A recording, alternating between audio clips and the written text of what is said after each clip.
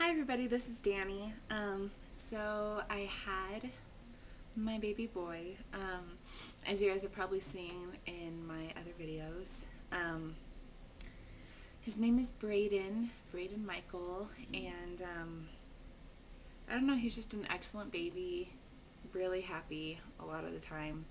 He'll cry when he's hungry, cry when he's when he needs to be fed, cries when he needs a, um, a diaper change um,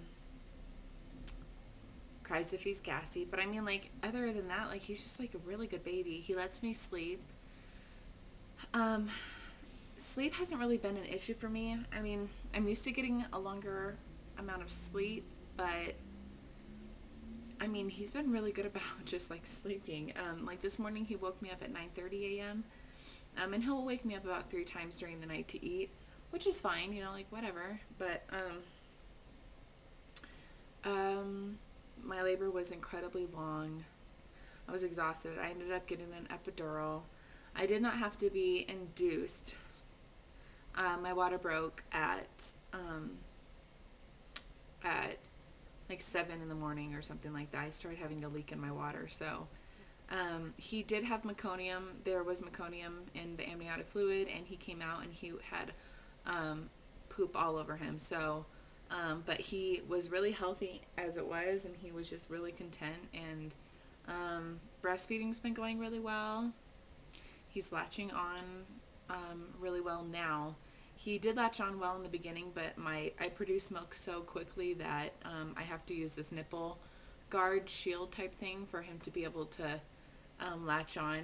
So, um, but yeah, so let me show you him. He's kind of sleepy, but.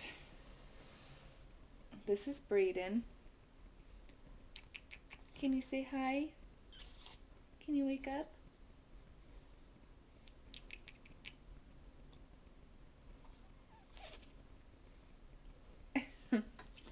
yeah, so um this is Brayden. He's peeling because he was cooked too long. But um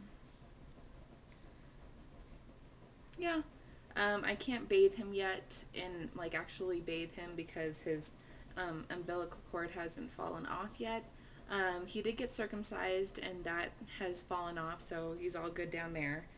But um, so I've been washing him with uh, um, baby wipes, and the doctor says that's fine. So um, he smells all nice, and so I've been putting lots of lotion on him, lots of cocoa butter because He's just peeling so much, but he's just so stinking cute. Um, um, other than that, sorry, my nose is so itchy right now. Um, other than that, not too much to say. So I will talk to you guys later. Just thought I would show you him. So last time, oh, this is him.